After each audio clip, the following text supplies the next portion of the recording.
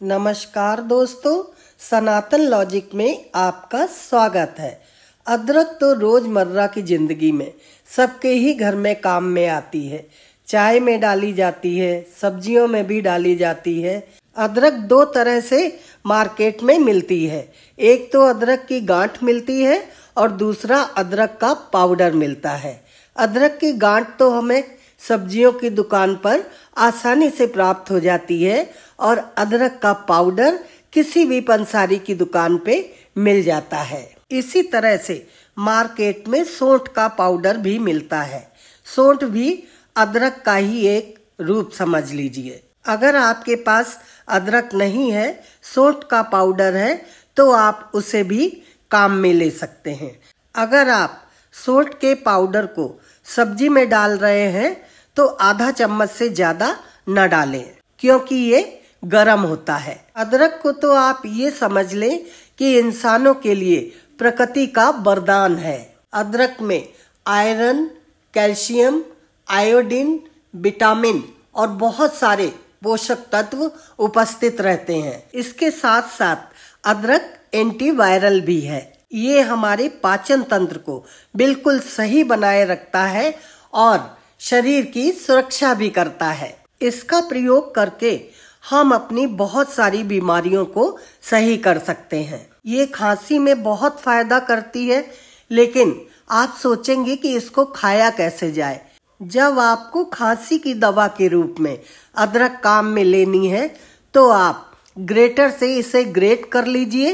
अब आप ये भी जानना चाहेंगे कि कितनी क्वांटिटी में ग्रेट करें और कितना शहद मिलाएँ। अगर ग्रेटेड अदरक आपके पास एक चम्मच है तो उसमें डेढ़ चम्मच शहद मिलाइए। अच्छी तरह से शहद मिला के उसको तीन हिस्सों में बांट लीजिए। सुबह, दोपहर और शाम तीन बार पाँच दिन तक खाइए, आपकी खांसी जड़ से खत्म हो जाएगी। जो लोग अदरक का फाइबर नहीं खा सकते हैं, उनके लिए एक और तरीका है।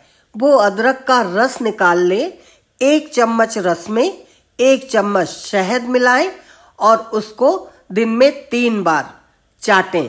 इसी तरह से दूसरे दिन दूसरा तैयार करें। मैं आपको अभी और भी तरीके बताऊँगी और ये भी बताऊँगी कि ये किस किस बीमारी में कैसे कैसे फ़ायदा करती है। अगर आपके कफ बहुत ज़्यादा जमा हुआ है तो आप ये भी कर सकते हैं, गैस जला के उसके ऊपर कढ़ाई चढ़ाएँ और उसमें दो चार ड्रॉप घी के डालें और उसमें डाल दें आप 50 से 70 ग्राम गुड़ और उस गुड़ में एक चम्मच अदरक का या सोंठ का पाउडर डाल लें और उसे तब तक पकाएँ जब तक वह जमने की स्थिति में न आ जाए। फिर उसे एक प्लेट में निकाल के जमा लीजिए। प्लेट में डालते डालते ही जम जाती है और बिल्कुल टॉफी की तरह से लगती है। इस तरह से अगर आप अदरक का प्रयोग कर रहे हैं तो आपको रोज बनाने की ज़रूरत भी नहीं पड़ेगी। एक दिन बनाइए और तीन चार दिन तक खा सकते हैं। अगर बच्चों को खांसी हो गई है तो बच्चे इस टॉफी को बड़े शौक से खा लेते हैं। अगर किसी को भूख नहीं लगती है, इसका मतलब उसके पेट में मल जमा हुआ है। अगर आप अदरक का इस तरह से सेवन करेंगे, अदरक के छोटे छोटे टुकड़े करके उसमें थोड़ा सा नमक डाल के आप रख लीजिए और आठ दिन तक इसे सुबह शाम खाइए। तो आपकी आंतों में जो मल इधर उधर चिपक जाता है, वह बाहर निकल जाएगा और हमारा पेट साफ़ हो जाएगा।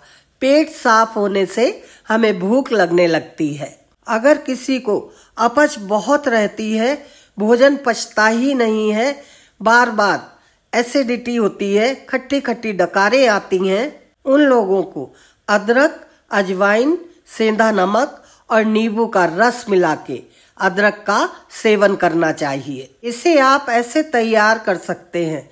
एक छोटी सी गांठ अदरक की लीजिए, उसमें आधा चम्मच अजवाइन मिलाइए, आधा चम्मच सेंधा नमक मिलाइए और एक नींबू का रस मिला दीजिए। ये बिल्कुल अदरक का अचार जैसा लगता है और ये हमारी सेहत के लिए भी बहुत फ़ायदेमंद है।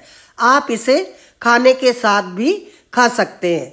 आप इस तरह अदरक का ज़्यादा अचार भी बना के रख सकते हैं। इसमें नींबू का रस पड़ा हुआ है इसलिए ये खराब तो होगा नहीं। एक महीना, पंद्रह दिन, जितने दिन के लिए चाहे, आप इसे बना के रख सकते हैं। इस तरह से अदरक का सेवन करने से पाचन क्रिया बिल्कुल दुरुस्त रहती है और पेट के अंदर जो वेस्ट मटेरियल होता है, वो बाहर निकल जाता है। तो इस तरह से आपकी अपच की समस्या का समाधान करेगी अदरक। आपका चेहरा अगर हमेशा मुरझाया मुरझाया रहता है, आप थके थके से रहते हैं तो आप खाली पेट अदरक के पानी का सेवन कर सकते हैं। एक गिलास पानी गैस पे चढ़ाइए और उसमें एक छोटा सा टुकड़ा बारीक बारीक काट के अदरक का डाल दीजिए और उसे उबाल उबाल के एक कप कर लीजिए, फिर उसमें एक चम्मच शहद मिला के पी लीजिए। इस तरह अदरक की चाय बनाकर आपको सुबह सुबह खाली पेट पीनी है। आप देखेंगे आपके चेहरे की चमक कितनी अच्छी हो गई है। ये प्रक्रिया आपको एक महीने तक करनी पड़ेगी। अदरक से कोई नुकसान तो होता नहीं है। हम चाय में डाल के रोज पीते ही हैं। सर्दियों में अधिक सर्दी होने के कारण सबको सर्दी जुकाम हो जाता है, तब हम अदरक वाली ही चाय पीते हैं। अदरक वाली चाय से हमारा सर्दी जुकाम तुरंत सही हो जाता है। लेकिन अदरक के रस में जब शहद मिला दिया जाता है तो वो और भी फ़ायदा करती है। अदरक दिल के रोगियों के लिए भी बहुत फ़ायदेमंद है। अदरक का नियमित सेवन करने से हमारा कोलेस्ट्रॉल लेवल मेंटेन रहता है क्योंकि अदरक से ब्लड सर्कुलेशन बिल्कुल सही हो जाता है। इसलिए दिल के रोगियों को भी अदरक का सेवन करना चाहिए। अदरक का नियमित सेवन करने से मोटापा कम होता है। आप एक गिलास दूध में डेढ़ इंच अदरक का टुकड़ा डालें और दूध को उबाल उबाल के आधा कर ले आधा करने के बाद आप पिए। आप देखेंगे कि आपकी चर्बी पिघलने लगी है और आप दुबले होने लग गए हैं। अदरक का सेवन करने से हकलाहट भी दूर हो जाती है। हकलाहट का मतलब जो आदमी बोलते बोलते रुक जाता है तो हकलाहट की समस्या का भी समाधान करती है अदरक। अदरक हमारी सेहत के लिए गुणों की खान है। ये समझ लीजिए कि मैजिक है। अदरक वाला पानी पीने से हमारा ब्लड सर्कुलेशन बिल्कुल सही रहता है। इस कारण ब्रेन बिल्कुल संतुलित रहता है। तो हम लॉजिकल सोच सकते हैं। अदरक का सेवन आप इस तरह से भी कर सकते हैं। अदरक और हरी मिर्च का अचार बना लें और रोज उसे खाने के साथ खाएँ। अदरक हर तरह से फ़ायदेमंद है। अगर आपके दांतों में बहुत दर्द हो रहा है तो अदरक दांत के दर्द को भी सही करती है। आप ऐसा करिए कि एक चम्मच अदरक का रस निकालिए और उसमें नमक मिला के अच्छी तरह से मिक्स कर लीजिए।